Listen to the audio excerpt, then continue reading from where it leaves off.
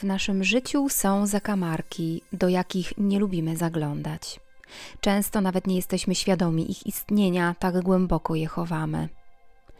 Istnieją tematy dla nas bolesne, trudne, tematy tabu.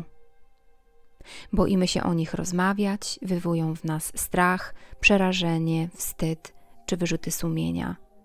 Łatwiej jest nam zamieść je pod dywan. Miłość, śmierć, partnerzy, zdrady, porzucenia, niechciane dzieci, te utracone, tajemnice, sekrety. Istnieją w nas przestrzenie tabu i właśnie tam pragnę wpuścić nieco światła, by zaczęły wychodzić z ukrycia naszej podświadomości. Odrzucić ciężar, ból, cierpienie, przetransformować w zrozumienie, ulgę i miłość. Zapraszam Was do ogrodów tabu. Agnieszka Tomczuk i jedność jest siłą.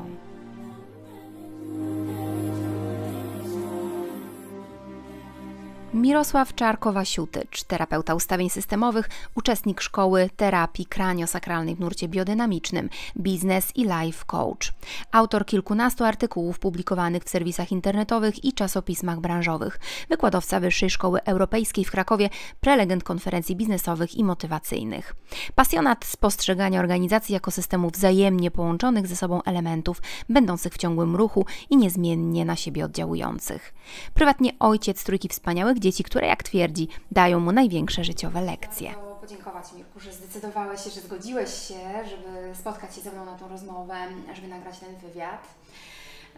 Ten cykl, który zatytułowałam Ogrody Tabu, e, bardzo mocno właśnie jakby to, czym Ty się zajmujesz, przypasowało mi, jakby też Twoja filozofia życiowa, bo czytałam bardzo dużo e, Twoich tekstów, e, byłam na Twoich warsztatach, więc jakby to, ten Twój przekaz też bardzo mocno do mnie przemówił.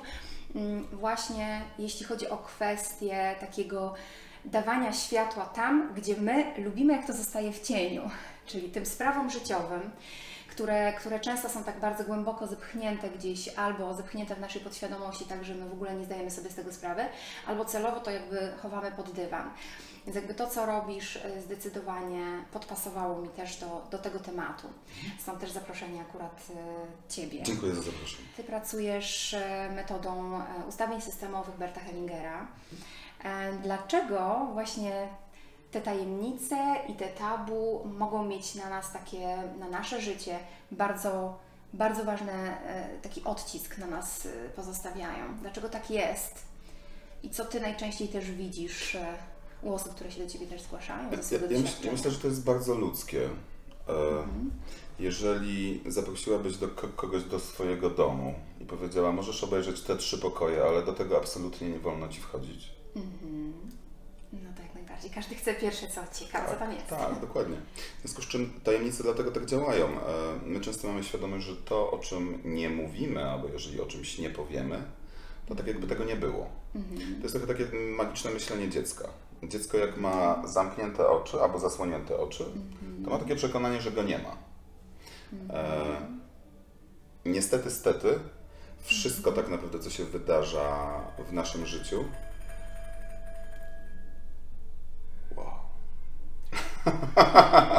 Jakiś rezonans. Wszystko, co się wydarza w naszym życiu, mm, jest zapisane w naszym polu informacyjnym. Mhm. Każdy z nas ma swoje pole informacyjne i każdy ród ma swoje pole informacyjne. Mhm. System, czyli taka nasza systemowa rodzina, bo tym pierwotnym naszym systemem to jest oczywiście nasza rodzina,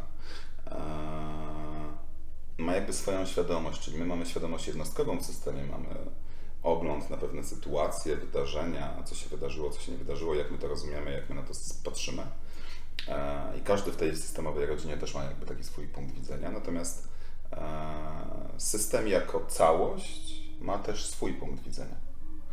E, I pierwsze prawo systemowe mówi o tym, e, bo te systemy rządzą się swoimi prawami oczywiście.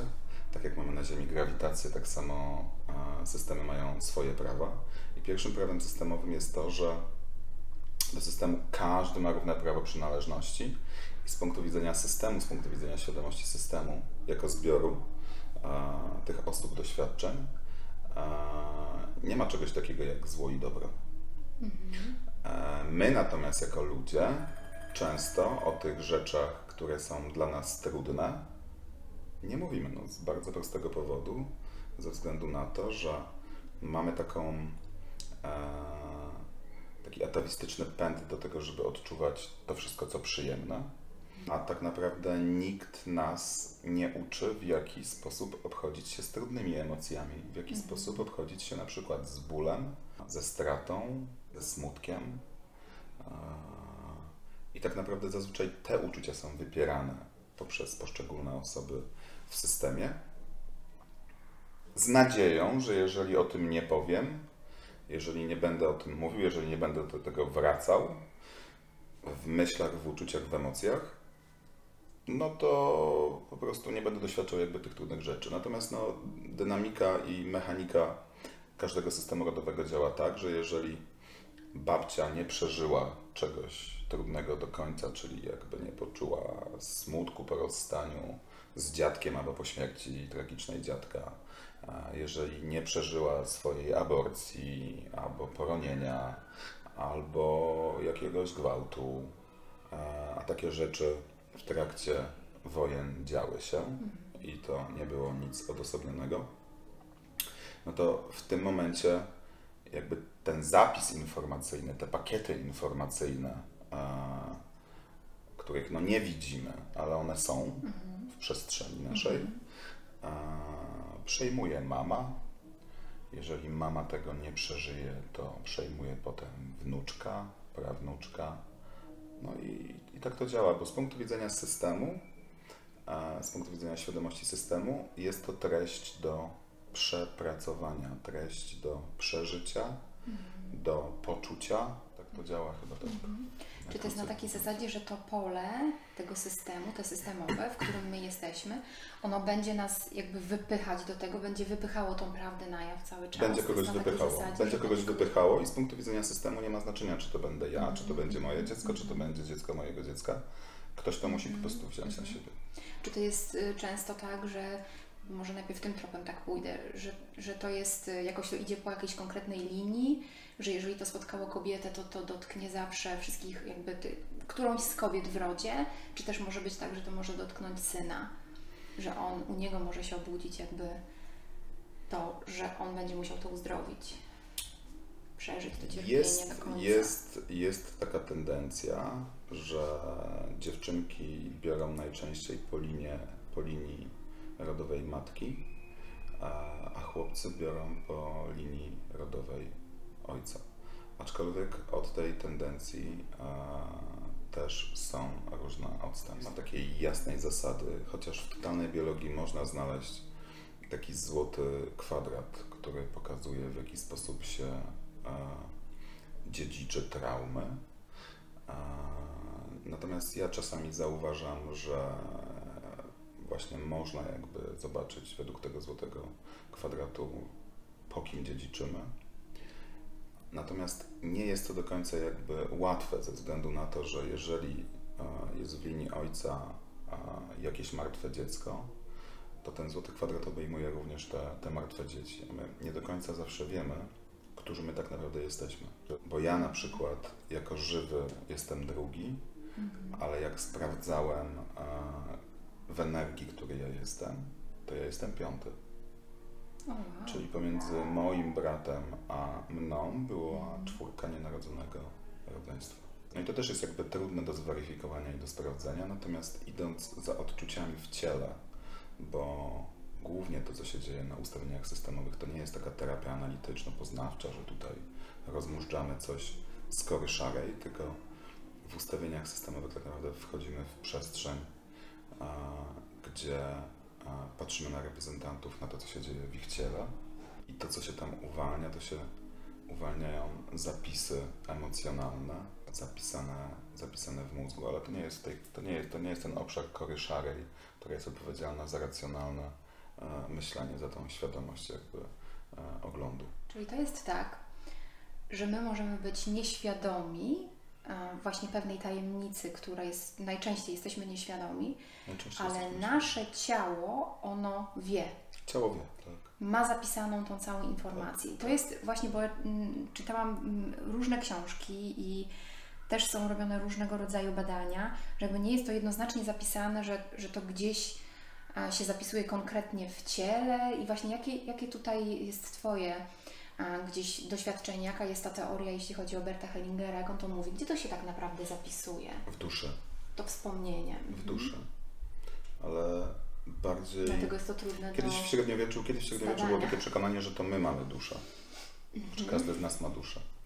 E, to co, to, co mówi Hellinger na dzień dzisiejszy e, i wielu badaczy, bardziej to my jesteśmy w duszy, my jesteśmy czasami albo bliżej duszy, albo dalej od duszy, mhm. ale my nie posiadamy duszy.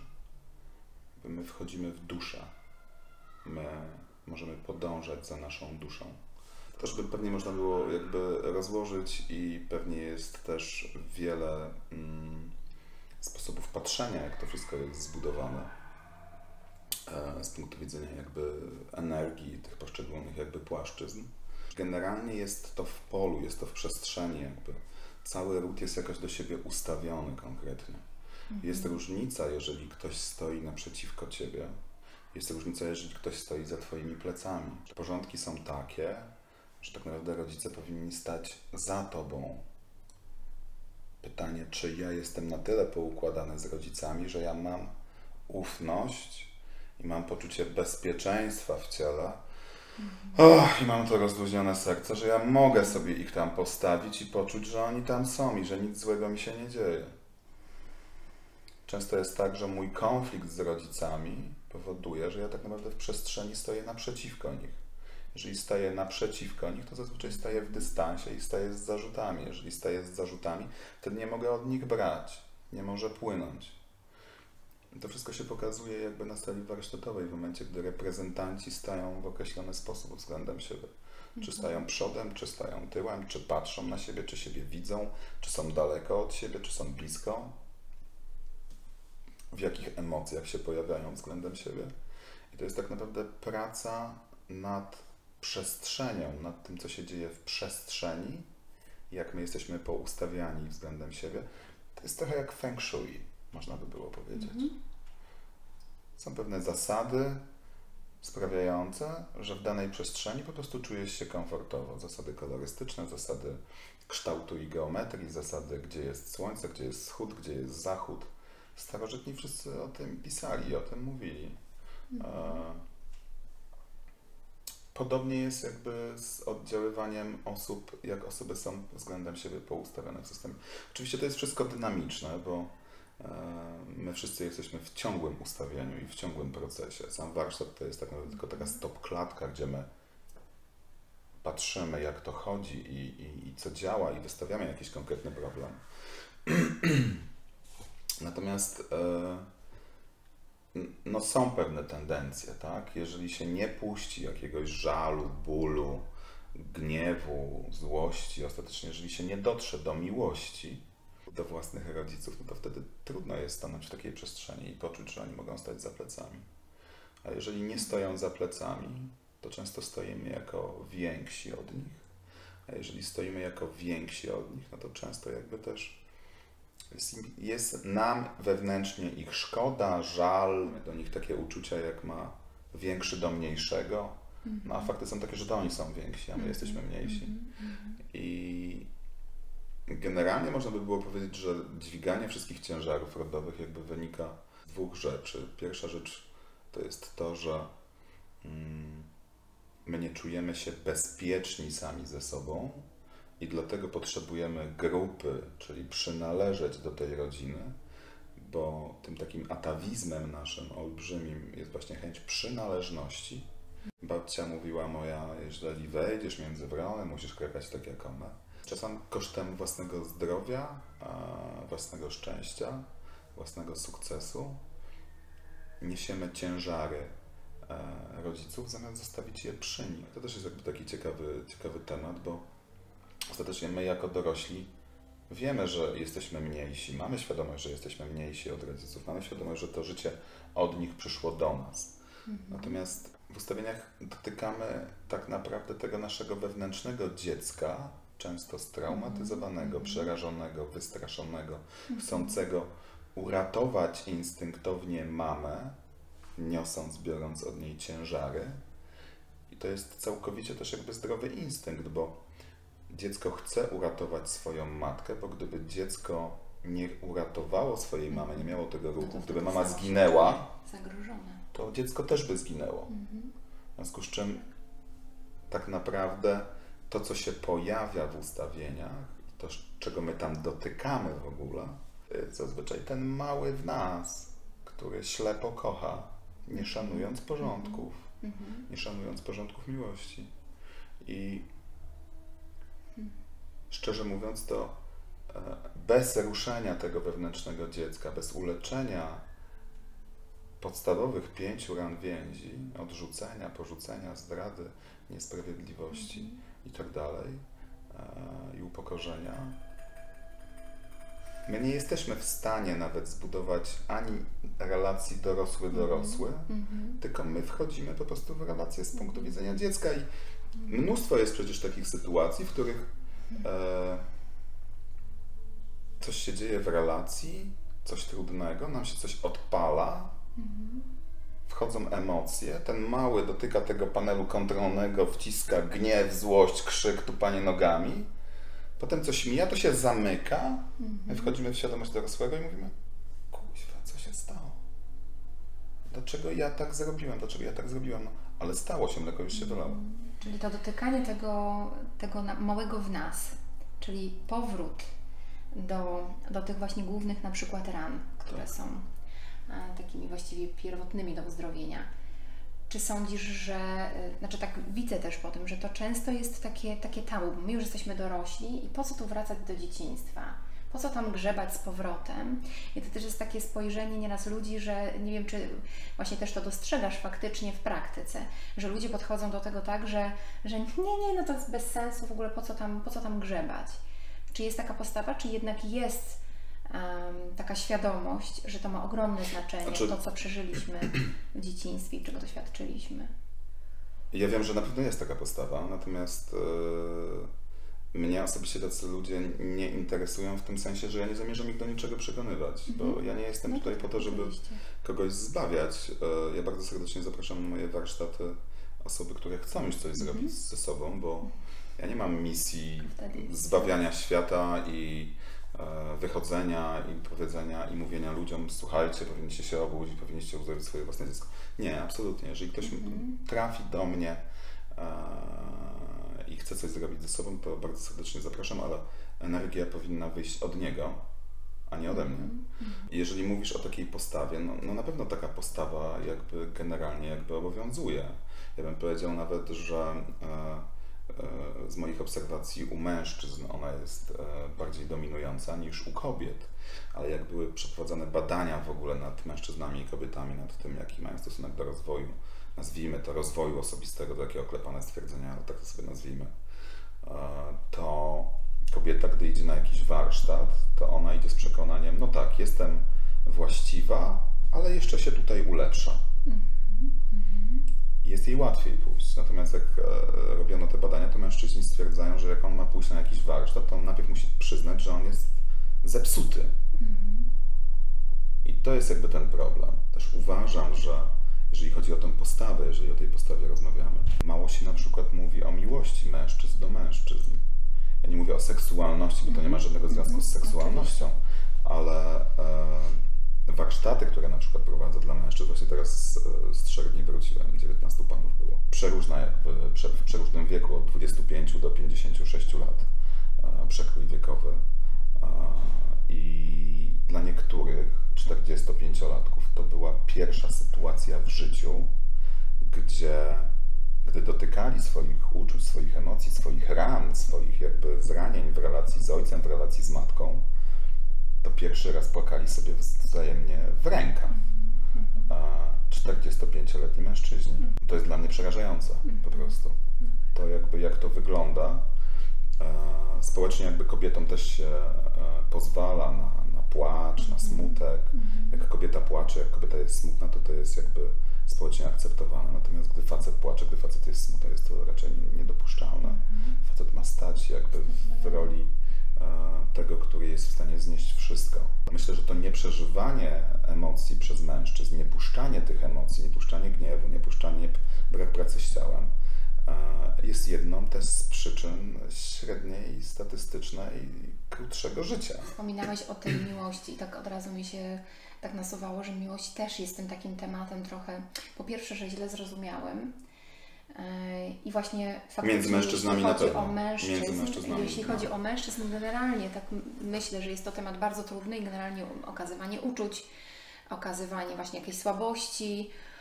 Mm, I teraz chciałabym właśnie, żebyśmy tak trochę już przeszli na, na, na, w tym kierunku, poszli.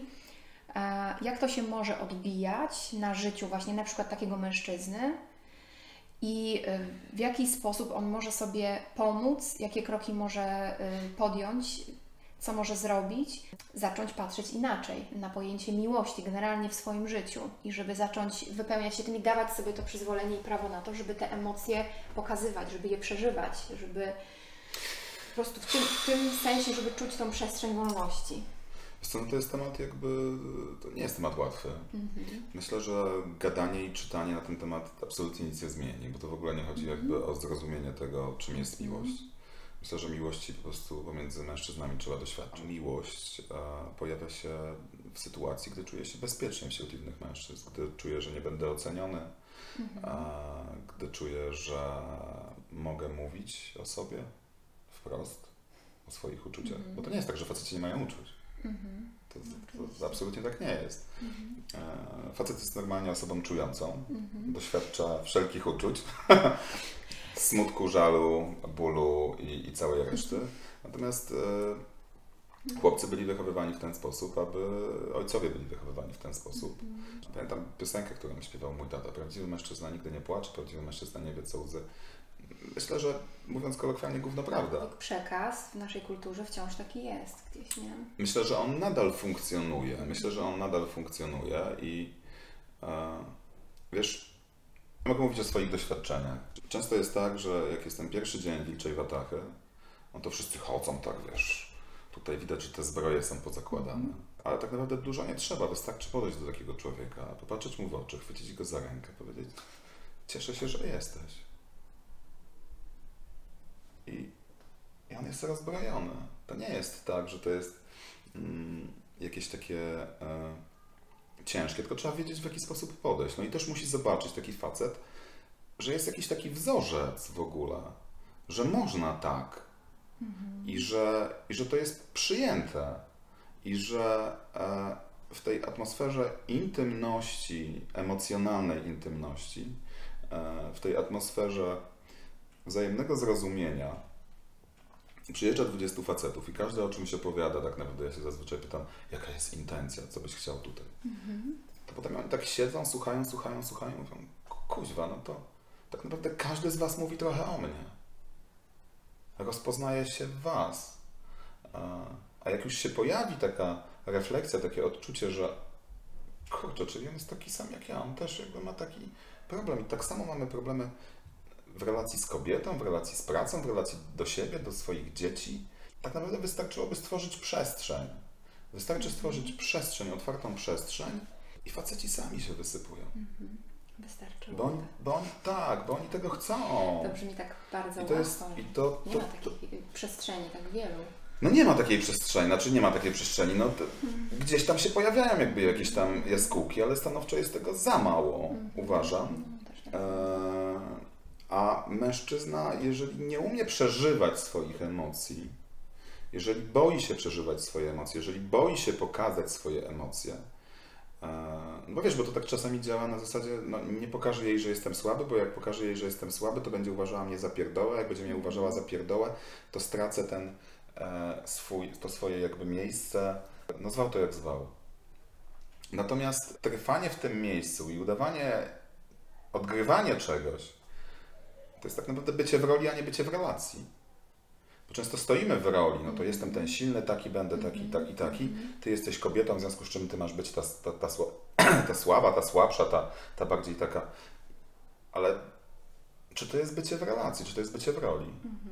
No Bo te role są nam narzucane jakoś społecznie, ale czy ja jestem autentyczny w relacji wtedy?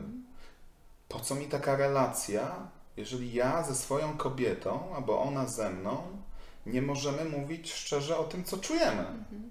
Nagrzyba mi taka relacja. Chociaż ja podejrzewam, że nasz, nasze babki, dziadkowie żyli w taki sposób, funkcjonowali, e, zaciskali zęby, zaciskali tyłki i po prostu to jakoś było.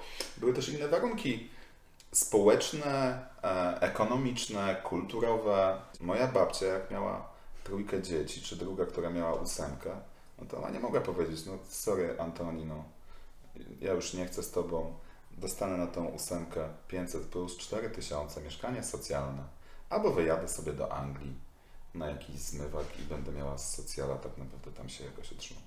Nie było takich warunków. Musieli trwać, musieli przeżywać. Nie było też takich narzędzi. Ja myślę, że my jesteśmy w ogóle pierwszym takim pokoleniem, które e, szuka nowego wzorca w relacji ze sobą. I myślisz, że dopiero jest, jest w nas ta gotowość, żeby żyć w prawdzie? Że dopiero teraz Myślę, że jest tak dużo programów idących z rodu, czego, co wolno, czego nie wolno, jak powinno się funkcjonować, że my jesteśmy tac, tymi, którzy przecierają szlak tak naprawdę.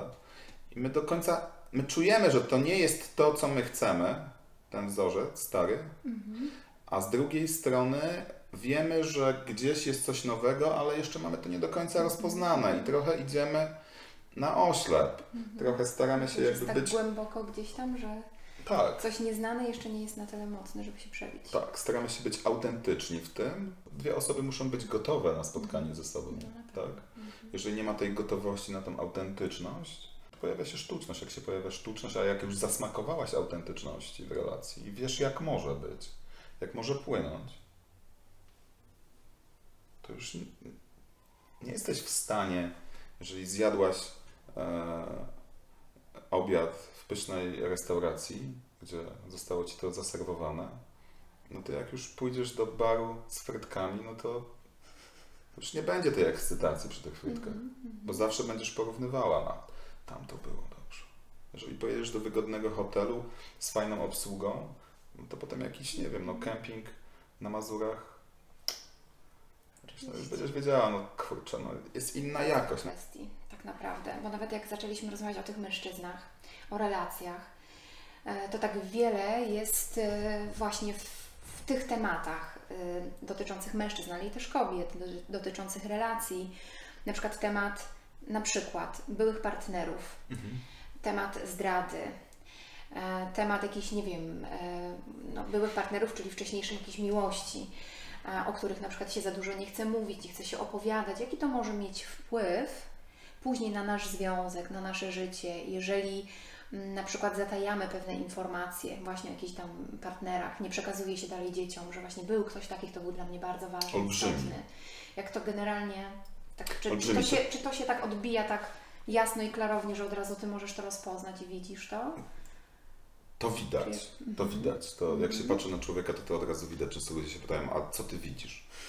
E, To jest trochę tak, że jeżeli po, po kilku tysiącach osób, z którymi się pracowało i po e, tysiącach godzin spędzonych e, na warsztacie, nabywa się takiej umiejętności, że się patrzy na człowieka, gdzie rozpoznać, o co tam chodzi tak naprawdę po pierwszym spojrzeniu, po drugim, po trzecim.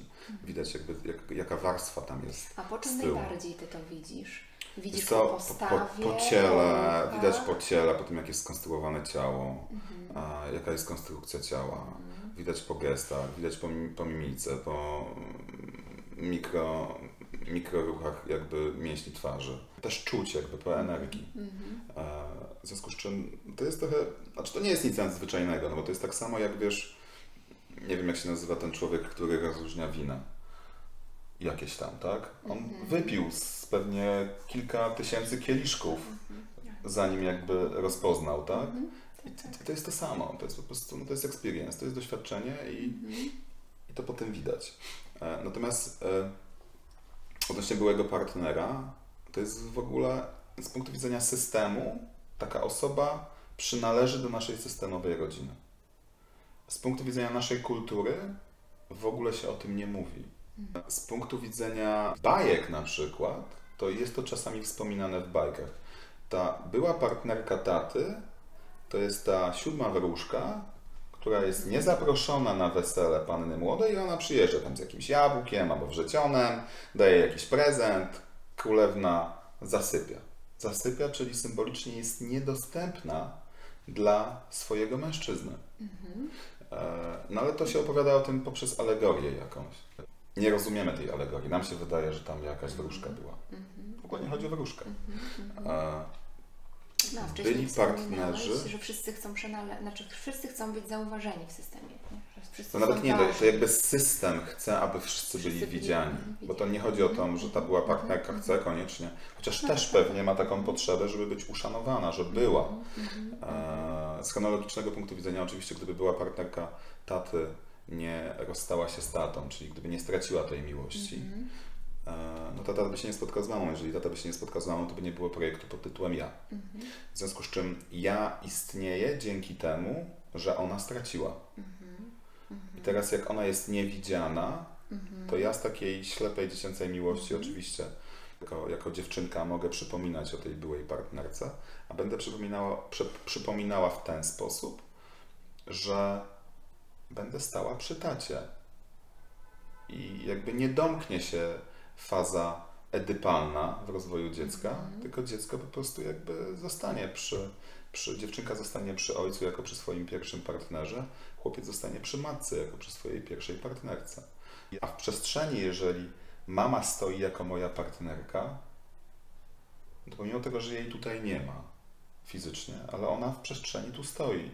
W związku z czym, jeżeli ona tu stoi, to tu nie ma miejsca na kobietę. Tu jest miejsce co ewentualnie na jakąś kochankę.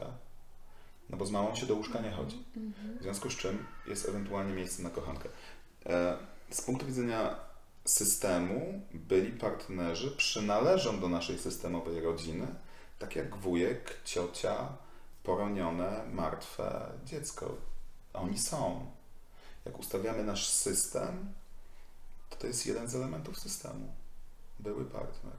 Tak naprawdę każdy stosunek e, seksualny z jakąkolwiek kobietą czy z jakimkolwiek mężczyzną tak naprawdę wprowadza tą osobę do systemu. Dlaczego, dlaczego to oddziaływuje? Bo to, bo to oddziaływuje w taki sposób, że jeżeli tata nie przeżył swojego bólu związanego z tym rozstaniem, nie uszanował jej, no to tata ma zamknięte serce, tamta kobieta też ma zamknięte serce i tata poznaje mamę, ale już ta część serca jest i tak zamknięta. I on ani nie jest w pełni dostępny dla tej nowej kobiety, a tamta zazwyczaj dobrze mu nie życzy. I często później ten konflikt, który tam był i nie został rozwiązany, on ma przeniesienie na relację z nową kobietą. Podobnie się dzieje, jak zmieniamy pracę. Jeżeli nie uszanujemy poprzedniego pracodawcy, to zazwyczaj ten konflikt, który był tam, zaraz się pojawi tutaj. Wow, to jest ciekawe też. co mówisz, Że to nawet... W związku z y, czym tak naprawdę przychodzi do nas doświadczenie jakieś, czy to jest partner, czy to jest praca, czy to jest cokolwiek innego. I jeżeli tego nie przepuścimy, te, tego całego, nie przeżyjemy tego e, przez siebie, nie, prze, nie przepuścimy przez ciało, nie przepuścimy przez emocje, tak jakby coś utykało w nas. I możemy iść dalej, próbować dalej, dalej, dalej, dalej, ale to jakby dopóki tego nie puścimy, nie przepuścimy, to tak jakby utyka w naszej przestrzeni. Czyli to jest po prostu jakby taka energia jakiegoś pewnego doświadczenia. I to Tak. może, tym doświadczeniem może być jakaś relacja z osobą, albo Tak. po prostu jakieś, jakaś tam praca Tak. zawodowa, Tak. coś co Tak. robiliśmy, więc Tak. to jest generalnie nasze doświadczenie. Wspomniałeś już też właśnie o dzieciach. E, Czy to też y, wpływa jakoś na życie kolejnych dzieci? Właśnie to, że tak nawet Ty opowiadałeś, że pomiędzy e, tak naprawdę mm, Tobą że ty już jesteś tak naprawdę, kiedy sprawdzałeś, który jesteś w rodzie, no to jesteś tam Piątym. piątym dzieckiem, tak, że to jest, że tak wiele było tych dzieci i o nich się nie mówi. W jaki sposób to może wpływać tak faktycznie na nasze, na nasze życie, bo, bo to się wydaje takie niewiarygodne, ale jak to może mieć wpływ? Jak to się odbija? No bo tutaj jest To jest jasna bardzo sprawa, proste. że na, na To jest bardzo proste. To, że ich nie widać, to, że ich nie widać, nie znaczy, że ich nie ma. Mhm, to oczywiście. W związku z czym, jeżeli ich nie widać, ale są, to tak naprawdę tak jakby byli. W związku z czym, jeżeli porządek systemowy jest taki, że stoi mężczyzna, koło mężczyzny stoi kobieta, potem idzie pierwsze, drugie, kolejne dziecko, to jeżeli ja jestem piąty, Mhm. na ziemi leży trójka martwych dzieci, to moja droga do matki prowadzi przez te dzieci. Czy to w ten sposób? Okej. Czyli tak naprawdę to jest trochę tak, jakbym zanim dojdę do własnej mamy, musiał przejść przez trzy grobowce, gdzie jest smutek, żal, ból, tęsknota, często samotność, bo często kobieta nie jest świadoma nawet, że straciła te dzieci. I teraz jak to wpływa? To wpływa często w taki sposób, że jeżeli ta trójka nie może do mamy, bo mama ich nie widzi, nie przyjmuje, nie przeżywa tej swojej straty, chociaż jest jej ciężko, ale nie wie dlaczego, to po pierwsze mama w duszy patrzy na te dzieci, być może, nie widzi tego żywego. To żywe jest związane z tymi, którzy nie mogą dotrzeć do mamy, w związku z czym w sumieniu też sobie nie pozwala pójść do mamy.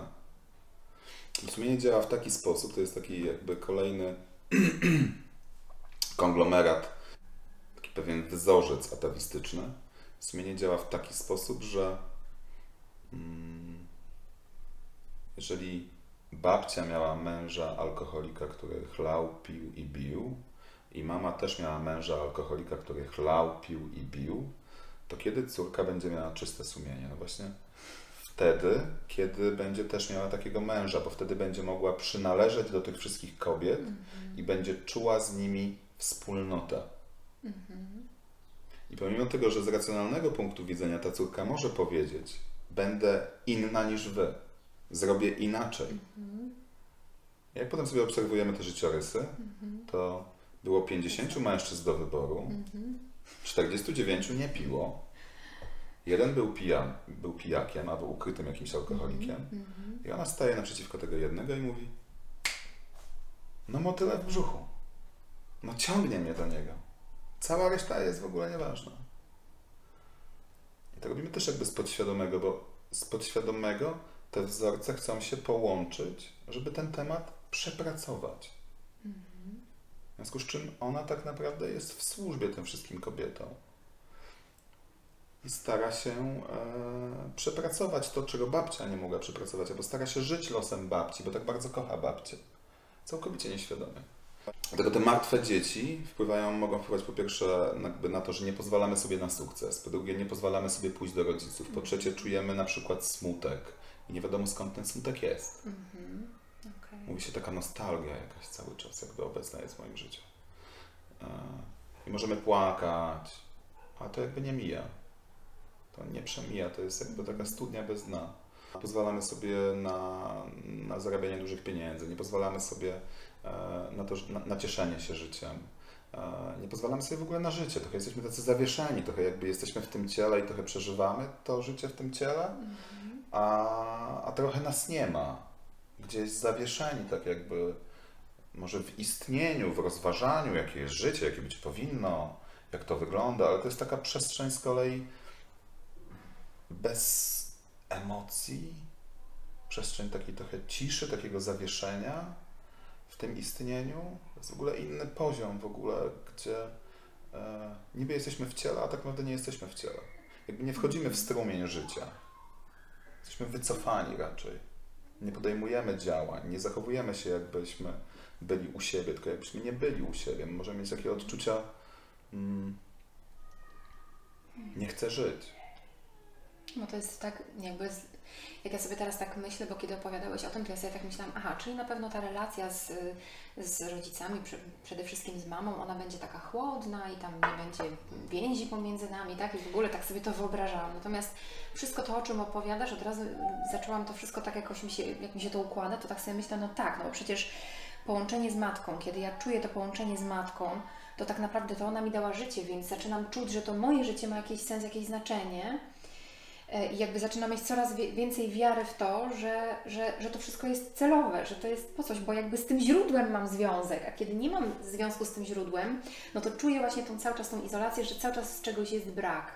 Więc to to są zazwyczaj, to są, tak, jest, tak, ale to e, są zazwyczaj uczucia tych martwych dzieci, Mhm, mhm, e, Okej, nie nasze, okej. mhm, a my będąc w sumieniu jakby przy nich, doświadczamy tego, tej bez, bezcelowości życia albo braku połączenia z matką, bo tak naprawdę one nie miały tego kontaktu z matką. A jeżeli na przykład stoi między nami dziecko, które jest zatajone, bo na przykład to było jeszcze z y, wcześniejszym tatą, Mhm. z którym mama była, no ale później już się o tym nie mówi, że tam jeszcze było jakieś, jakieś dziecko przed małżeństwem, przed małżeństwem z, z tym partnerem. Znaczy to może chyba bardziej dotyczy Mężczyzn, mężczyzn, tak. niż kobiet, bo jednak kobiecie by było dosyć trudno to jeszcze tym Częściej zdarza się, że kobiety jednak zabierają te dzieci, tak? Mhm. Czyli jeżeli by było to na przykład od strony, od strony taty powiedzmy, że, że jest jakieś jeszcze wcześniejsze dziecko i dowiaduje się dopiero na przykład u mnie wiem, że była w rodzinie taka sytuacja, że dopiero No, w wieku dowiaduje. 20 lat się dowiedziała, że on to nie jest wujek, tylko to jest brat. tak naprawdę. Więc jaki to może mieć wpływ? To też rzutuje w jakiś taki konkretny sposób na nasze życie? Jak najbardziej. Zazwyczaj wtedy mamy taką, e, takie uczucie, że nie stoimy w swoim miejscu. Mhm. Możemy też przejmować uczucia tego dziecka, które jest jakby wykluczone z tej rodziny, Mhm. o którym się jakby nie mówi. E, Możemy czuć jakby, że to nie nasi rodzice, Mhm. Chociaż to są nasi rodzice, ale możemy czuć emocje tych wszystkich osób. Mhm. Generalnie jakby to, co się pokazuje e, w pracy systemowej, to tam, gdzie jest wykluczenie Mhm. i są jakieś nieprzeżyte pakiety emocji, doświadczeń, to ci, którzy wchodzą jakby, e, żeby przypomnieć o tych, którzy są niewidziani, wchodzą w ich miejsce i czują jakby no, nie swoje emocje. Czyli można by było sobie zadać pytanie tak naprawdę, co czuje taki dzieciak, który mm, nigdy nie poznał własnego ojca. No, bez dwóch zdań czuje za nim jakąś tęsknotę. Mhm. Bez dwóch zdań e, zastanawia się, kim on jest, gdzie jest jego tożsamość. E, bez dwóch zdań i w jakiś sposób tęskni. No to jest ta cała męska esencja, czyli to takie właśnie mocne osadzenie w ogóle w życiu. No kim jestem, to jest tożsamość moja. Jakby kim jestem tutaj w ciele oczywiście, jakby nie w tej tożsamości duchowej. Tożsamość duchowa to jest jakby jakiś, jakiś inny temat, ale żyjemy tutaj w ciele, żyjemy, e, mamy tych rodziców, tych konkretnych rodziców i to jest ta moja tożsamość w, w społeczeństwie. No. Jakie są moje korzenie, kim ja tak naprawdę tutaj jestem, kim był mój ojciec, kim był mój dziadek, czyli skąd ja pochodzę, kim oni byli. E, Ja oczywiście mogę być kimś innym, bo ja mam kawałek swojej historii, ale jeżeli chodzi o moje korzenie, no to to jest bardzo ważne, zwłaszcza dla mężczyzny. Zwłaszcza dla mężczyzny, bo to jest jakby jego ten kręgosłup, tak naprawdę, ta tożsamość. Dla kobiety też to jest ważne. Na pewno ma też olbrzymie znaczenie, żeby wiedzieć, kim byli jej przodkowie, kim były kobiety. Dla mężczyzny myślę, że też. Bardzo. E, Dlaczego ja muszę coś z tym robić? To może to nie ma sensu. Może niech to dalej zostanie tą tajemnicą. A ja jakoś po prostu to życie sobie przejdę, że tak powiem, tak? Będą mi się trafiały te, te, te Nikt nic traumy. nie musi. No nie musimy, nie musimy. Absolutnie Ale właśnie musimy. y, jakby z Twojego też takiego punktu widzenia, gdybyś miał um, jakby tak właśnie powiedzieć, zachęcić, dlaczego warto żyć w tej prawdzie i dlaczego warto jest W ogóle nie mam takiej misji, żeby kogokolwiek zachęcać. Jakieś, Absolutnie. nie wiem, czy jakieś argumenty czujesz na przykład sam na, na sobie na przykład, tak? Czy możesz powiedzieć coś sam o sobie? Ja na przykład mogę powiedzieć y, po sobie, że zawsze, kiedy jak- jakby wiem coraz więcej, dowiaduję się coraz więcej i jakby układają się te puzzle mojego życia i wszystko staje się coraz bardziej takie jasne i klarowne dla mnie, że ja zaczynam coraz bardziej rozumieć też siebie, swoje zachowania, skąd one, z czego one wynikają. Jakby ja czuję większą wolność i to, że właśnie generalnie lepiej się czuję w ogóle tu, na ziemi, w swoim życiu, lepiej sobie radzę, y, lepiej mi się wszystko układa dookoła, wszystkie relacje z ludźmi. Więc ja sądzę, że to jest, warto jest coś z tym robić. Na pewno jest warto i i jakby y, ja osobiście ze swojego doświadczenia mam świadomość, że jest warto, natomiast ja nie mam misji zbawiania. No bo na siłę nikogo nie przekonamy, no to Na- jest prawda. Absolutnie. E, Uważam, że każdy z nas jako istota Mhm. ma taki całkowicie naturalny pęd do samopoznania. To, co widać, to, co ja widzę najwyraźniej, kiedyś napisałem taki artykuł na, na blogu, że Hellinger e, wciąga na zakręcie, na życiowych zakrętach, gdy my doświadczamy bólu, gdy coś nam się rozpada, coś, co żeśmy skrupulatnie budowali wiele lat, gdy nam się to zaczyna rozpadać, gdy nam się zaczyna rzeczywistość jakoś wymykać spod kontroli i gdy boli, to ból prowadzi zawsze do więcej, bo ból prowadzi do środka. Dlatego ja uważam, że przyjdzie pewnie dla każdego jakieś takie miejsce, gdzie będzie musiał zyskać nową świadomość, bo życie jakby w starym paradygmacie, że to jestem ja i tylko ja, mhm. to po prostu to, to, to w pewnym momencie doprowadza do bólu. W związku z czym wtedy trzeba jakby rozszerzyć tą perspektywę. Aha, czyli to jakby nie tylko o mnie chodzi, czyli tutaj jest jeszcze ktoś i jeszcze ktoś. Wow, i były partner w tej perspektywie faktycznie on stracił, żebym ja mógł być. Czyli to nie jest takie oczywiste, że ja tutaj się pojawiłem na tym świecie, tak i hej ho. Niektórzy musieli stracić, niektórzy się nie narodzili, niektórzy ustąpili miejsca, abym ja mógł być i tutaj zaistnieć. E, w tym ciele, w tej rodzinie, w tej historii, w tej przestrzeni. Większa wiedza powoduje, że, znaczy nawet jakby nie sama wiedza, bo to jakby trzeba dotknąć. Ja uważam, że doświadczenie, czasami jakby za duża ilość przeczytanych książek jakby powoduje, że paraliżuje nas. Nadmiar informacji nas paraliżuje. Bert mówi nawet takie piękne zdanie, że e, za dużo informacji paraliżuje i powstrzymuje przed działaniem. Życie to działanie. To nie rozmużdżanie, chociaż lubujemy się w tym. My się boimy rzucić w wir życia. My się boimy jakby wejść w relację, która staje naprzeciwko nas. Bo mamy swoje warunki, co się musi wydarzyć, żebyśmy my byli szczęśliwi, żeby, żebym ja z nią był, albo i, i tak dalej. Boimy się wchodzić jakby w życie tak na zasadzie, nieważne co się wydarzy, ja wiem jak chcę się czuć. Mój kolega powiedział takie, takie piękne zdanie, że nie wiem co będę to robił za 5 lat, ale wiem jak chcę się czuć. Mhm. Bo tak naprawdę my warunkujemy często nasze relacje, warunkujemy naszą pracę, warunkujemy nasze szczęście w ogóle żeby, żebyśmy poczuli się szczęśliwi, spełnieni, to musi być to, to, to, to.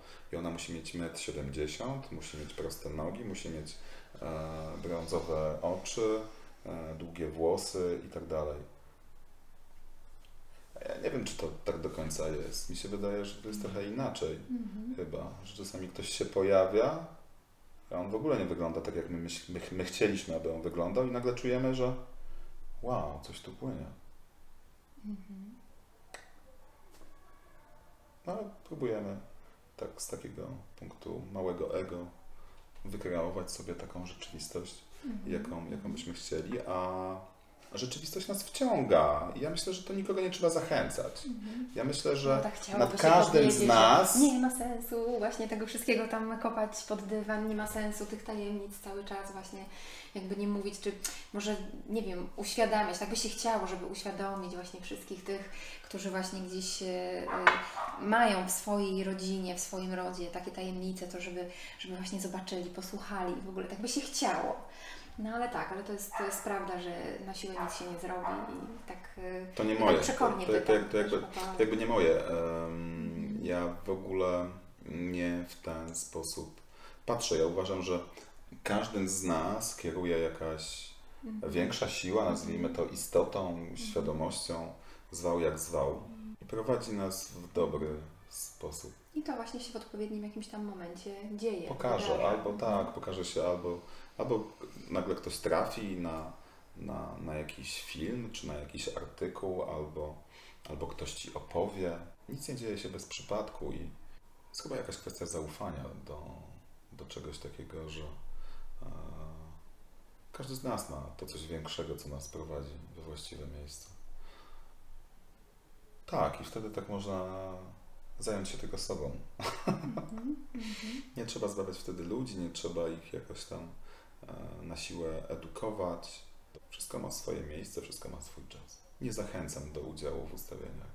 Jak czujesz, że to jest dla ciebie, to po prostu przyjdź, zobacz, przyjdź jako obserwator, zobacz, czy to czujesz. Może ze mną, może gdzieś indziej, może u kogoś innego. Znajdź to, co jest jakby dla ciebie właściwe, bo e, metod jest multum. Ustawienia nie są jedną, e, jedyną, jedyną z metod, chociaż porządki systemowe obowiązują wszędzie i bez względu, czy my coś wiemy na temat tych porządków, czy nie wiemy, mhm. to one i tak obowiązują, i tak działają, i tak jakby funkcjonują, tak jak nie wiem, no, prawo przyciągania, czy ktoś zna Hellingera, czy nie zna, czy ktoś zna mm. coś na temat prawa grawitacji, czy nie zna nic na temat prawa grawitacji, no to w Afryce jak się coś puści, to i tak upadnie na ziemię, a w Polsce to samo, no i jest jakby ten, ten sam porządek, to samo prawo. Myślę, że mm, łatwiej jest wtedy zrozumieć. Łatwiej jest wtedy zrozumieć jakby e, swoich rodziców, swoje dzieci, te zależności, które jakby gdzieś tam wynikają.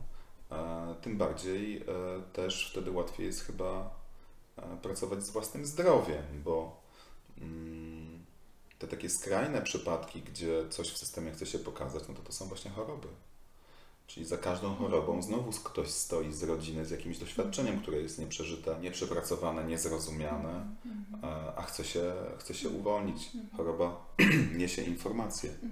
Tak jak mówi o tym też totalna biologia czy tam medycyna. sposób można taką właśnie traumę uzdrowić. Czyli jeżeli na przykład ja wiem, że, że straciłam dziecko, albo na przykład wiem, że był jakiś partner, co robić, żeby nie popełnić właśnie tego. No i teraz nie chcę tego nazwać nawet błędem, bo my to nazywamy, że to się źle dzieje, że to jest błąd, y, ale to jest po prostu jakieś doświadczenie. I co zrobić, żeby to doświadczenie, o, nie wpływało później niekorzystnie na życie całej tej mojej rodziny, moich kolejnych, na przykład kolejnego pokolenia, moich dzieci, tak? I właśnie w jaki Przeżyć. sposób mogę to zrobić? Przeżyć. Przeżyć. Mhm. Przeżyć do końca. Przeżyć do końca. To Czyli jakby czynnikiem takim, który powoduje, że później to się ciągnie za nami, to jest to, że my nie przeżywamy. nie przeżywamy. My kończymy relacje, my przeżywamy jakąś stratę i my nie przeżywamy tego. Nie potrafimy się z tym bólem, Tracimy dziecko i cierpieniem. tracimy dziecko, tracimy dziecko. Jest totalny brak świadomości, że jeżeli kobieta straci dziecko, to jej ciało zachowuje się nadal tak, jakby do dziewiątego miesiąca było w ciąży i potem w połogu. My Tego nie mamy świadomości tego. Bardzo szybko wchodzimy, e, staramy się o kolejne dziecko, Mhm. No to jest tak. Mhm. nie pozwalając sobie na żałobę, na poczucie straty, na ból, na pożegnanie tego, na to, że nam się coś nie udało, że nie zaistniało, że nie zaistniało, nie zaistnieliśmy my, czyli ja i partnerka, ja i partner wrazem, bo to jest, dziecko jest połączeniem. Nie zastanawiamy się nawet. Lecimy dalej na automacie jakimś, tak?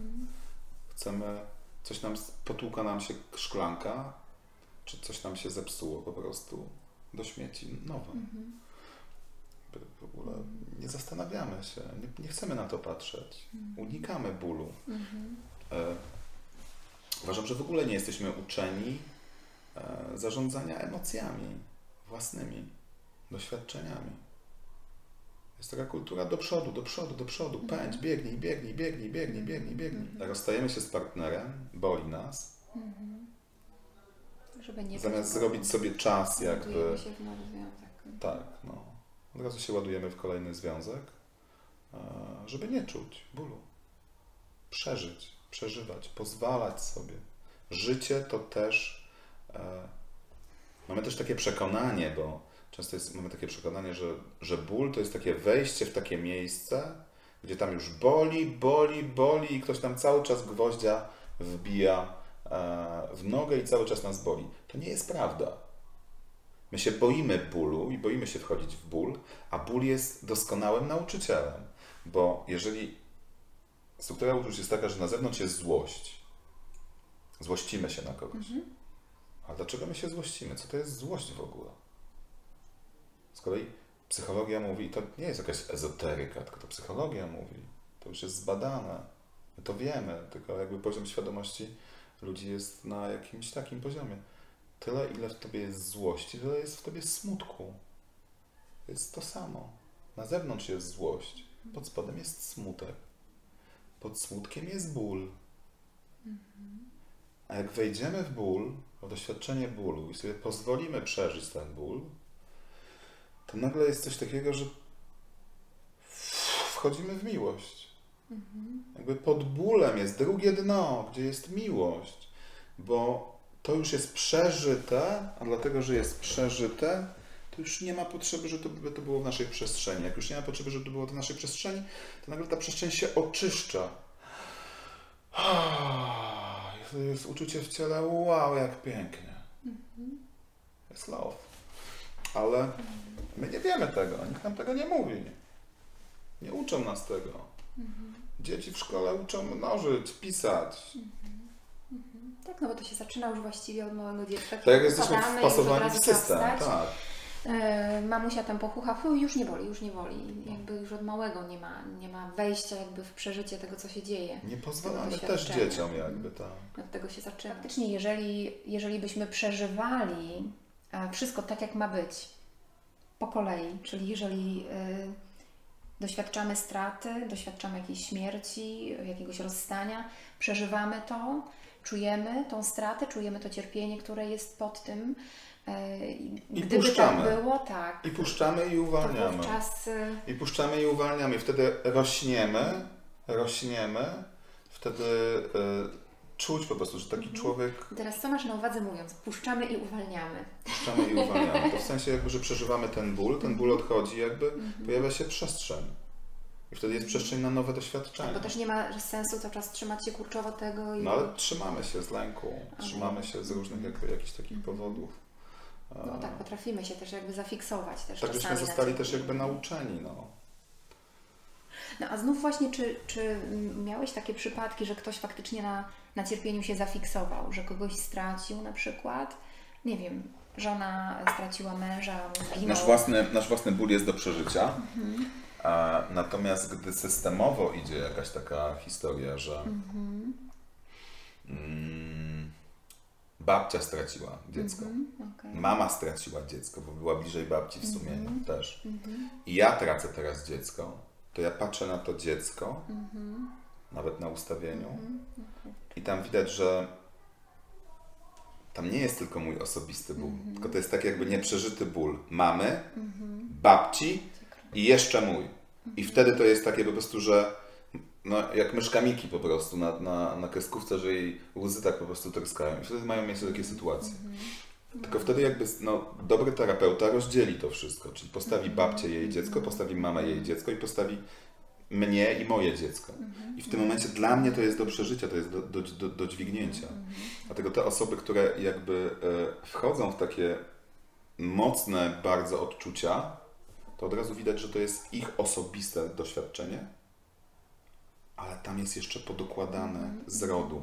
Czyli to wszystko, co nieprzeżyte, jakby kumuluje się teraz jakby e, w tej osobie, bo mama nie mogła płakać, bo babcia też jakby nie mogła płakać, bo zamknęła serce i, i poszło. Została informacja, jakby pakiet informacyjny i tak jest jakby dostępny w polu. W związku z czym i tak to jest jakby wtedy do przeżycia, no ale przeżywając swoje życie i niosąc swoje ciężary i biorąc swoją odpowiedzialność za siebie, my się zawsze czujemy w sile i lekko. W ciele się czujemy lekko, ze swoimi ciężarami. Nam jest za ciężko, jak niesiemy coś kogoś. Mhm, Okej. Czyli kiedy w nas jest takie poczucie, to może być takie światełko, że ej, tutaj coś może Tak, być że, grubszego. że, coś, że coś jakby z systemu gdzieś idzie od jakiegoś przodka, który miał być może jakieś podobne doświadczenie. Tak? Czy jak się rozstajemy, czy zostajemy porzuceni przez e, pierwszego partnera, czy przez pierwszą partnerkę i jakby, albo przez jakąś osobę, czy przez drugą, trzecią, czy to, i przeżywamy dramat, jakby po prostu świat się skończył, jakby miało być, e, no nie wiem, jakbyśmy umierali wręcz. Też to może sugerować, że gdzieś tam z tyłu była jakaś podobna historia. Tam było to nieprzeżyte i dlatego my tak to mocno odczuwamy w taki sposób, że aż po prostu no, schodzimy z tego świata niemal, że po prostu wychodzimy z ciała i nie chcemy żyć.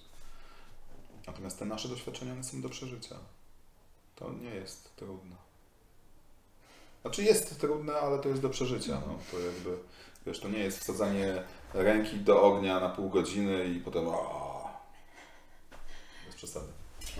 Powiedzmy, jest to wsadzenie palca do wody temperatura 80 stopni. Wspominaliśmy o tym, że żyjemy właśnie w takiej kulturze, która nie pozwala nam właśnie na pokazywanie, przeżywanie emocji, że właśnie musimy reagować, y, wszystko musi się dziać szybko, musimy szybko wracać do normy, kobieta rodzi dziecko i od razu już musi być fit, jakby i to jest w każdej Znaczy- dziedzinie życia. Moim zdaniem żyjemy w takiej kulturze, gdzie pozwalamy sobie na przeżywanie emocji, ale tylko tych pozytywnych emocji.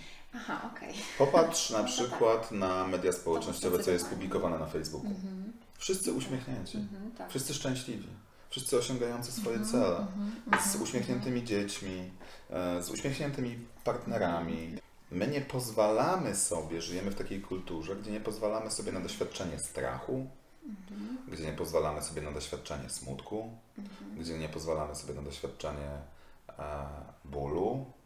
My chcemy czuć tylko to, co dobre. Jeżeli jest coś, co społecznie jest właśnie takie niepożądane, tak to nazwijmy, że wywołuje te wszystkie emocje, o których wspominałeś, te wszystkie uczucia, to wówczas my to po prostu pod dywanik, Tak, pod dywanik tak, spychamy. Tak, tak, tak, bardzo często. Bardzo często jakby to, w jaki sposób e, ludzie się pokazują na zewnątrz, to pokazują się, no, wspaniały ojciec, e, idealny pracownik, idealny przedsiębiorca, idealna matka, e, idealna bizneswoman, zawsze uczesana, zawsze z paznokciem zrobionym, zawsze pięknie wyglądająca i tak dalej, i tak dalej. No to jest iluzja. Nie oszukujmy się, to jest po prostu iluzja. To jest kłamstwo. To jest jakiś tam sweet dream po prostu. A to jest jakiś Hollywood. To jest kłamstwo. Tak życie nie wygląda. Życie wygląda w ten sposób, że nie ma idealnego ojca, nie ma idealnej matki. Natomiast my chcemy po prostu dążyć do jakiegoś takiego ideału, zamiast po prostu przeżywać na co dzień swoje życie. Takie, jakim ono jest. Bo to, co my mamy do przeżycia w swoim ciele, e, w ciele Mirka, w ciele Agaty, to jest bardzo indywidualne i wyjątkowe i szczególne i nikt drugi czegoś takiego nie przeżyje, bo nikt nie urodził się w tym momencie z takimi rodzicami, z taką historią, z takimi doświadczeniami. Natomiast my gdzieś tam się próbujemy wpasować pod jakiś wzorzec. I to chyba o to chodzi, że e, ludzie wolą się transować i jest mnóstwo metod, chociażby z neurolingwistycznego programowania, które, które polega na tym, żeby przeramować sytuację, żeby zmienić, e, żeby nie brać udziału w tym, co trudne i w tym, co dołujące, w tym, co powoduje jakby ból. I to powoduje, że ci ludzie tak naprawdę żyją w jakiejś swojej bańce, często narcystycznej bańce, nie przeżywają swojego życia. A jeżeli informacja ma dotrzeć z systemu, to ona i tak dotrze. Ona dzisiaj być może nie dotrze na poziomie świadomości, na poziomie e, umysłu, ale dotrze za 2, 3, 4, 5 lat za pomocą choroby dziecka, mojej choroby w ciele, bo informacja i tak dotrze, i tak dotrze. Z punktu widzenia systemu, z punktu widzenia jakby świadomości jako całości, to nie ma znaczenia, jak informacja dotrze. Jak nie dopuszczasz kanałem, ktoś do ciebie przychodzi i ci coś mówi, mówi, że ty mnie atakujesz, ty chcesz mi odebrać moje szczęście. Tak? Albo ktoś ci robi zarzut, bo nie wiem, nabrudziłaś na jego dywanie, tak? To mówisz, no wiesz, ale to jest twój problem i to jest twój proces, że ty nie jesteś w stanie zaakceptować brudu na swoim dywanie. No to wiesz, takie odwracanie jakby kota ogonem trochę. I to zawsze działa tylko zazwyczaj w jedną stronę, powoduje, że to i tak jakby jakoś przyjdzie do ciebie ta informacja. To zazwyczaj wtedy, kiedy nie będziesz się w ogóle spodziewała, nagle coś ci się rozsypie. Ja tak sobie teraz myślę, czy istnieje coś takiego jak system, jako na przykład właśnie ogólnie rzecz biorąc społeczeństwo, że my też przynależymy do systemu i to jest tak, że my wytworzyliśmy sobie tą bańkę, że właśnie wszyscy powinniśmy siebie tak pokazywać w mediach społecznościowych, tak powinniśmy żyć, pokazywać tylko sukcesy, tylko właśnie hollywoodzki uśmiech i w ogóle i że my chcemy właśnie przynależeć do tego systemu i dlatego tak robimy, tworzymy sobie tą iluzję w naszym życiu. Bo Nie. generalnie jest iluzja tego systemu, jakim jest społeczeństwo. Nie wiem, czy to w ogóle coś takiego istnieje, ale teraz taka, taka idea, taka myśl mi się pojawiła. Jestem ciekawa. Co, myślę, że każde jakby społeczeństwo, tak jak ja mam swoją świadomość, jak moja rodzina ma swoją świadomość, jak mój system ma swoją świadomość, tak samo miasta mają swoją świadomość i swoją historię, tak samo kraje mają swoją świadomość i swoją historię. I nie wiem, czy to zauważyłaś jakby w swoim doświadczeniu, ale ja jak wylatuję z Polski, bo lecę na jakiś warsztat do Londynu, czy, czy do Norwegii, czy gdziekolwiek indziej, to, to ja jestem na poziomie tak naprawdę w, w samolocie. Ja z dokładnością co do 3-4 minut jestem w stanie powiedzieć, kiedy ja wylatuję z przestrzeni polskiej. No faktycznie tak jest. W Niemczech jest inna energia, na południu jest inna energia. Że jak tam już stajesz na tej ziemi, w ogóle to już czujesz po prostu coś Tak, bo jest inny innego. mental, bo jest inny, in, inna świadomość jakby zbiorowa mentalna. Jest inna historia. Jest w nas coś takiego, że my chcemy przynależeć do tej właśnie, do tego systemu, który został stworzony, że, że chcę przynależeć, dlatego będę wrzucać te zdjęcia i to wszystko, że to jakby z tego może wynikać? Z tej chęci przynależności systemowej? Myślę, że to wynika, myślę, że to wynika, myślę, że to e, wynika często e, z tego, że nasze społeczeństwo jest bardzo mocno narcystyczne. I to trochę działa w taki sposób, wiesz, o, koleżanka ma takie piękne zdjęcie i tak się wszyscy nią zachwycają i dostaje tyle lajków i serduszek i komentarzy, o jaka ty jesteś piękna i tak dalej, i tak dalej. I tak patrzymy, kurczę, no, dostaje uwagę. Też bym chciała dostać taką uwagę, też mi brakowało tej uwagi. W związku z czym też sobie zrobię zdjęcie. O, zalajkowali mi. Jakie to miłe, że oni mnie zalajkowali, bo to jest, to, wiesz, no, ten Facebook to też jest przecież, to jest, to jest, to jest jakaś rzeczywistość, w której my też funkcjonujemy. Tak, tak. Oczywiście. mało jest tam autentyzmu. Mało jest tam autentyzmu, mało jest e, prawdy. Podsumowując, chciałabym, żebyś może dał jakąś wskazówkę, jakiś kierunek może, bo wiem, że na pewno będzie ciężko tutaj powiedzieć właśnie, bo chcielibyśmy zapewne w dzisiejszych czasach usłyszeć taką em, receptę, co tutaj zrobić, żeby, żeby te tajemnice powyciągać, żeby to wszystko uzdrowić, żeby e, czuć, że właśnie nic nam w życiu już nie ciąży. Od czego dobrze jest zacząć? Jaki dobry byłby ten pierwszy, drugi Myślę, że, myśl, myśl, myślę też, że taki obraz, że już nam nic w życiu nie ciąży, to też jest złudzenie. E, bo życie jest do przeżycia, myślę sobie. A wskazówkę. Trudno mi powiedzieć, co by było wskazówką, bo każdy, przy, każdy przypadek jest inny i to jakby każde ustawienie jest inne. Widać jakąś taką tendencję być może w tym, w jak to się przejawia i widać, widać pewne podobieństwa, ale też każdy człowiek jest inny. E, Ja myślę sobie w ten sposób, że mm, jeżeli nie uzdrowimy wewnętrznego dziecka, chociaż pewnie dla niektórych widzów to w ogóle będzie jakaś abstrakcja. Jakie wewnętrzne dziecko w ogóle? Gdzie jest to dziecko?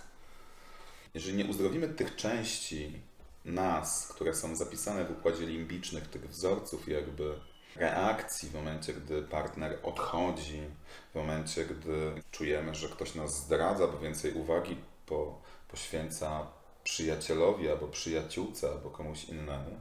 Bez uzdrowienia tego, no to jesteśmy skazani tak naprawdę na takie relacje, na taką pracę, na taką jakość. e, Tak naprawdę na cierpienie. na cierpienie, na, na, na, na cierpienie. No jeszcze ludzie często się odcinają, zamrażają się na przykład i wtedy nic już nie czują, nie?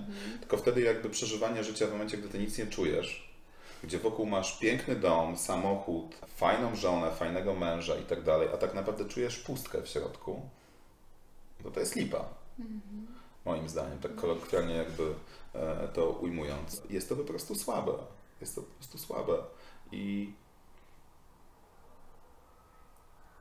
też jest taka droga, która nie jest drogą łatwą, bo niektórzy są pozamrażani i nic nie czują i jest wygodnie jakby też nic nie czuć. Zazwyczaj jak człowiek się otwiera na czucie, otwiera mu się serducho, to pierwsze co się wylewa to jest olbrzymi smutek. Tam jest dużo bólu.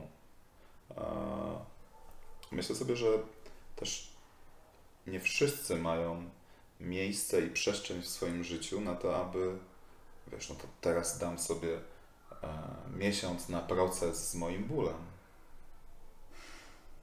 Bo są dzieci, bo jest praca, bo jest e, przedszkole, bo jest Czy to szkoła. można zaplanować? E, tak, i dokładnie, czy to można tak zaplanować w ogóle. Myślę sobie, że jeżeli zależy nam na lepszych jakościach w życiu, no to pierwsze, co by można było zrobić, to pracować z tym dzieciakiem. No. A w jaki sposób pracować z dzieciakiem? No to już można sobie wpisać hasło w internet, praca z wewnętrznym dzieckiem. Można coś na własną rękę zrobić. można wziąć udział w jakimś warsztacie pod okiem kogoś, kto wie w jaki sposób z tym pracować z tymi zdysocjowanymi częściami osobowości, z tymi odszczepionymi, z tymi z traumami. Znaleźć jakiegoś dobrego człowieka, który więcej widzi, może trochę więcej wie, może sam na własnym tyłku więcej przeżył. Też bym przestrzegał przed terapeutami, którzy się za bardzo chcą zaangażować i przed takimi ludźmi, którzy chcą zbawiać. Bo ten ruch do zbawiania to jest też nasze wewnętrzne dziecko, które chce zbawić albo mamę, albo tatę które chce ratować kogoś. Zapytaj się po prostu takiego człowieka, Jak sobie radzi w sytuacjach, porozmawiaj, sprawdź, dowiedz się. Poobserwuj. Poobserwuj, poczytaj, pooglądaj. Myślę, że to jest najlepszy taki. po- Poczuj po prostu. Poczuj, poczuj. Poczuj, czy to Twoja, czy to Twoja droga, czy to Twoja ścieżka. Jak nie znać swoją? I zaufaj tej intuicji, bo często jest też tak, że ten głos wewnętrzny nas też trochę prowadzi. Prowadzi, pokazuje. prowadzi, pokazuje, a często to blokujemy, Mhm. spychamy. Niepocieszające jest to, co wspomniałeś, że gdzieś to wszystko jest i tak, i tak, y, jakby, że całe życie nas prowadzi do tego, żeby, żeby to uzdrowić. Tak. Że jakby jest to przez to całe pole, w jakim my jesteśmy, pole rodziny, tego całego systemu, jesteśmy wypychani do tego, więc, Jesteśmy wypychani. więc jednak ja mam też wiarę w to, że, że wszystko w odpowiednim czasie zostanie Tak. uzdrowione i Teraz mamy, mamy, mamy narzędzie, możemy szybciej, prawda? E, Na ustawieniu systemowym, jak brałaś udział, to zresztą sama pewnie zaobserwowałaś, że e, czasami w 5, czasami w 25 minut tak naprawdę dociera się do takich emocji, do których w innej metodzie by się nie dotarło. Albo by to trwało na przełomie, nie wiem, 6, 12, 24 miesięcy.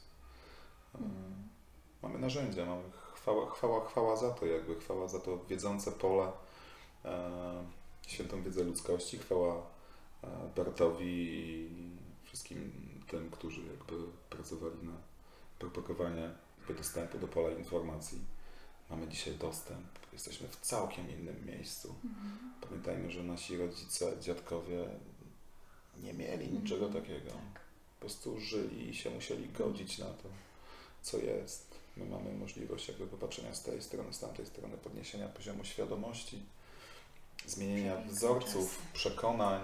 E, Widać, że w ogóle jakby na poziomie globalnym to jest takie pokolenie, gdzie stare wzorce po prostu muszą odejść. Też jest jakby tak dużo tego trudnego po wojnie, że to musiały przyjść jakieś narzędzia, żeby to puścić traumy wojenne.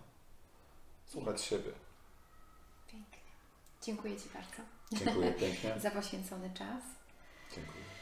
I, i za to, że, że zanurzyliśmy się trochę w te, te tematy tabu i trochę tam światła wpuściliśmy, myślę. Dziękuję Ci. Dziękuję bardzo. Dziękuję bardzo.